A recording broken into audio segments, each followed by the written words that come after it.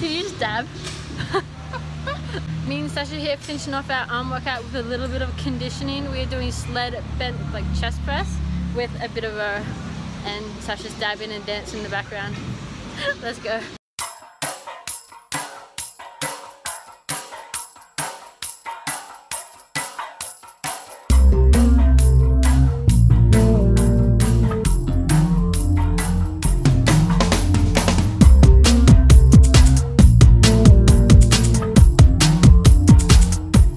Awesome quick Sunday conditioning workout with my girl Sasha. We went to World's Gym, we did an upper body workout, and then we did a little bit of a sled conditioning session to finish off with. So we did five rounds, chest pressing the sled all the way up, and then rowing the sled on the way back.